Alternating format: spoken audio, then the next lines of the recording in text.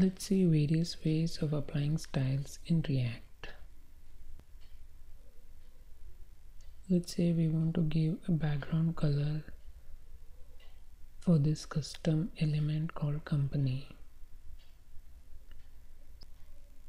We cannot use a conventional element called class in React.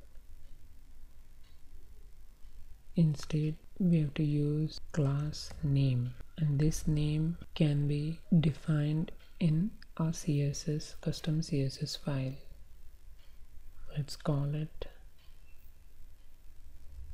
company background. Open your css let's give some margin and padding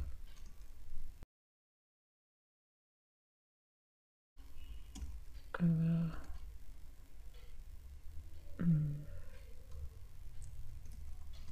let's try red. Save it. Save company as well. Refresh that is so you can assign styles using class name or provide custom styles by using style attribute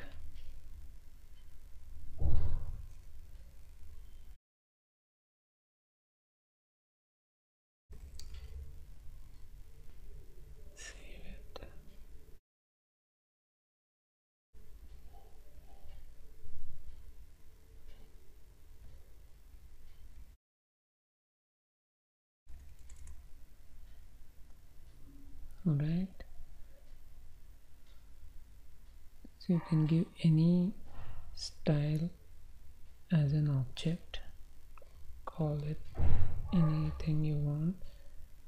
You can even declare it here. Where? Where is es file? Let's try es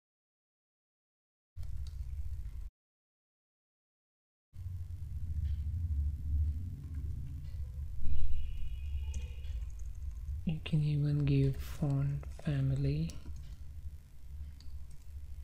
Tahoma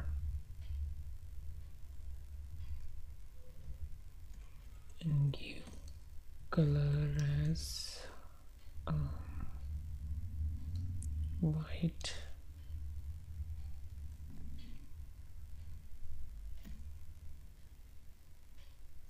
Right. Save it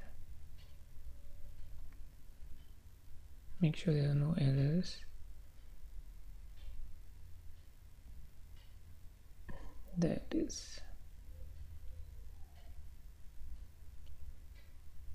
So these are the two ways that you can assign styles in react.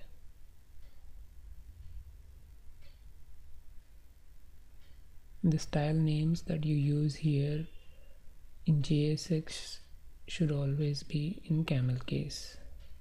Okay, that's it for this one. Stay tuned and subscribe. Cheers.